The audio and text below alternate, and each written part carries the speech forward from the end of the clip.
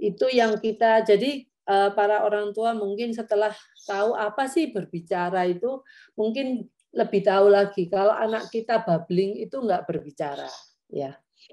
Eh, kecuali dia mengeluarkan suara-suara yang eh, mirip-mirip tetapi karena problem pronunciation dia nggak bisa melafalkan dengan bagus maka suara yang dihasilkan itu eh, tidak akurat tidak persis seperti yang diharapkan. Seperti biasanya anak-anak kecil mereka nggak bisa ngomong R, nggak bisa ngomong S. Nah, eh, itu eh, artinya R-nya eh, jadi P mungkin, bukan biasanya F jadi P. Nah, itu adalah jadi suaranya memang nggak akurat, tetapi kita semua tahu yang dimaksud dia karena anak-anak kecil itu masih belum mampu um, mengucapkan beberapa kata yang yang sulit. Nah, seperti R itu R-nya kita sama R R-nya orang kalau berbahasa Inggris juga mesti nggak sama. Tapi itu nanti se, uh, semakin besar mereka mempunyai skill yang bertumbuh terhadap oral motor oral uh, sekitar kemampuan untuk mengendalikan oralnya. Oke, jadi saya pikir berbicara uh, lebih bisa sudah bisa dimengerti. Jadi kita jangan mengatakan anak saya sudah berbicara kalau anak kita masih babbling. Babbling itu meracau, meracau yang tidak ada uh, artinya. Uh, jadi mama, mama, mungkin dalam meracau itu ada beberapa yang kelihatannya mengandung arti. Mungkin mama, mama, mama. Oh iya ya, anak saya sudah bisa ngomong mama. Enggak. Kalau mama di sini berbicara konteksnya juga berkomunikasi, artinya dia mama itu mengatakan mama itu memanggil mama, atau menunjukkan mama. Nah, itu itu baru juga berbicara. Berbicara mengeluarkan suara dan juga ada ini pendapat dari pikirannya. Jadi dia akan ada sesuatu yang mau diucapkan selain bersuara itu. Oke. Berbahasa. Berbahasa itu menggunakan bahasa. Jadi pasti ada bahasanya tertentu ya. Nah, berbahasa itu adalah salah satu cara berkomunikasi. Nah, karena berkomunikasi nanti nanti kita lanjutkan setelah ber, kita ngomong berbahasa, kita akan ngomong uh, berkomunikasi. Uh, bahasa itu mengacu pada keseluruhan sistem kata-kata maupun simbol yang ditulis, ya, yang ditulis, diucapkan atau diekspresikan dengan gerak tubuh dan bahasa tubuh untuk mengkomunikasikan makna. Jadi yang terakhir itu karena makna, dia mempunyai sesuatu yang ini ingin disampaikan. Dia bisa uh, menggunakan secara tertulis, menulis, ya itu juga berbahasa, mengucapkan. Nah, biasanya kalau kita melakukan mengucapkan itu ditambah dengan ada gerak tubuh atau bahasa tubuh yang akan di Eh, pada waktu kita berbicara itu atau mengucapkan itu. Jadi umpamanya kalau kita marah ya ekspresi kita ya nggak senyum-senyum dong. Tapi kalau kita senang pastinya kita melakukannya itu kita melihat eh, apa ekspresi wajahnya senang, mungkin eh, intonasinya nggak tinggi karena intonasinya biasa. Kalau kita marah mungkin wajahnya nggak senyum, intonasinya cenderung tinggi. Nah itu adalah sesuatu yang termasuk Eh, bahasa adalah sesu, sesuatu nggak cuman yang lisan aja. Kalau tadi berbicara lisan, kalau berbahasa itu mencakup secara tertulis dan lisan. Terus eh, bahasa berbahasa itu juga mengkaji tentang komunikasi, keterampilan berbicara, bercakap-cakap dan bertutur kata. Jadi kalau orang berbahasa itu nggak cuma ngomong satu dari kita, kita juga bisa me, e, bercakap-cakap itu kan dua arah. Kita berbicara, orang lain e, mungkin memberikan komen, bertanya, kita juga menjawab pertanyaan atau orang lain berkomen uh, memberikan komentar, kita juga memberikan komentar. Nah, jadi itu sesuatu hal yang berbahasa ini komplit. Jadi dari semuanya yang kita perlukan untuk me bercakap-cakap. Bercakap-cakap namanya bercakap-cakap. Nggak mungkin satu arah. Nggak mungkin sendirian. Pasti ada lebih dari satu. Bertutur kata juga seperti itu. Bertutur kata itu pasti dengan orang lain. Eh, kita pastinya bertutur kata dengan seorang eh, dengan teman kita atau dengan orang tua, orang yang lebih tua biasanya. Nah, mungkin di sini tersimpan bahwa kita harus eh, ada ekspresi mungkin kalau dengan orang tua kita lebih sopan. Ada gesture gerak tubuh yang menunjukkan bahwa kita menghormati mereka. Kita apa namanya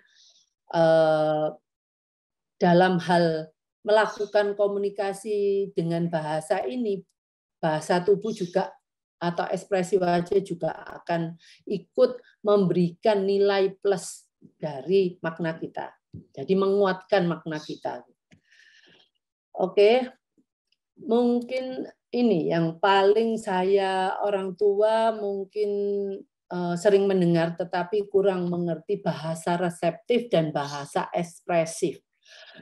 Nah, kalau reseptif ini adalah kemampuan untuk mengerti apa yang dilihat dan apa yang didengar. Jadi, kosakata reseptif nah, bisa anak-anak ini nggak bisa bicara, tetapi dia bisa eh, kosakatanya reseptif. Jadi dia eh, mengerti, tetapi belum bisa mengekspresikan keluar dari diri dari dirinya. Jadi biasanya anak-anak ini anak-anak yang sudah ngerti banyak, tetapi mungkin untuk keluarnya dalam bentuk verbal dia nggak bisa. Nah, kalau mungkin dia mau menggambar juga nggak bisa, biasanya mereka uh, hanya menunjuk, biasanya menunjuk uh, apa yang diinginkannya, ya. Jadi uh, kalau bahasa ekspresif itu belum tentu harus bicara. Nah, tapi juga bisa kalau dia bisa menggambar, menggambarkan dengan alat apa yang diinginkannya itu juga berbahasa ekspresif. Yang penting ekspresif itu artinya dia bisa mengekspresikan keinginannya supaya orang-orang di sekitarnya tahu. Kalau dia nggak bisa ngomong, mungkin dia bisa menggambar. Akhirnya, oh maksudmu ini, kamu mau, dia mungkin menggambar gelas. Oh, kamu mau minum?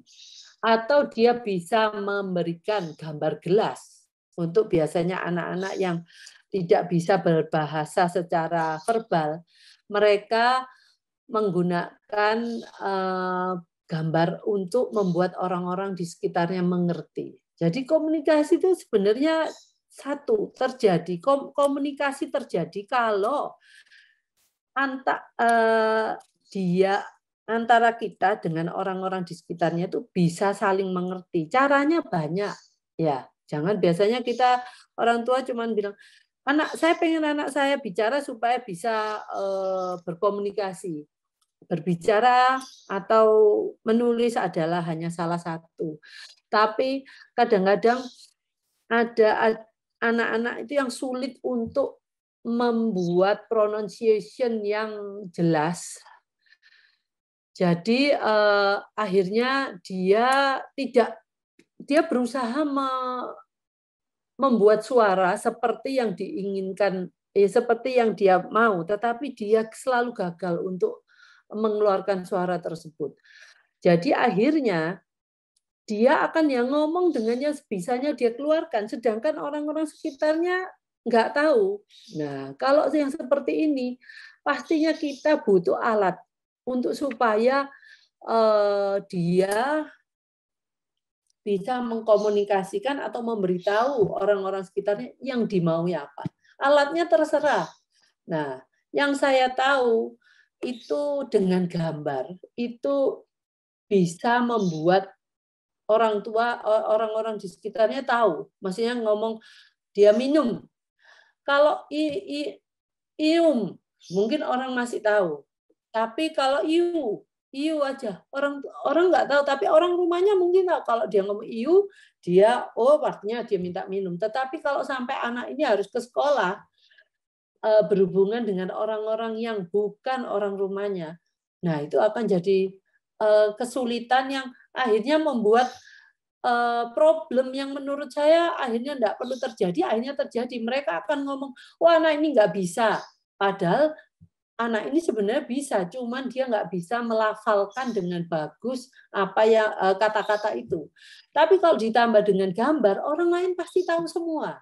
Nah, itulah salah satu fungsi dari daripada gambar yang harus yang eh, yang menurut saya itu bantuannya besar sekali. Eh, yang nantinya gambar ini juga bisa dihilangkan kalau anak kita bisa melafalkan dengan tepat dan orang-orang bisa mengerti. Nah, itu itu fungsinya gambar karena banyak orang tua yang ketakutan bahwa anak saya tidak akan bicara akhirnya karena anak saya selalu membawa gambar. Nah, untuk yang benar membawa gambar itu harus berbicara, ber, bersuara. Walaupun itu tidak akurat, dia harus ngomong terus.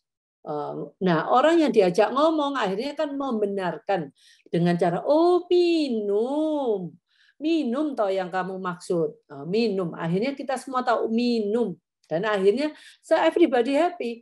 Anaknya mendapatkan apa yang diinginkannya, orang yang diajak ngomong juga tahu, oh kamu kamu menginginnya minum dan akhirnya tidak akan ada problem-problem sampingan seperti anak saya sering marah karena kita tidak tahu apa yang diinginkan dia.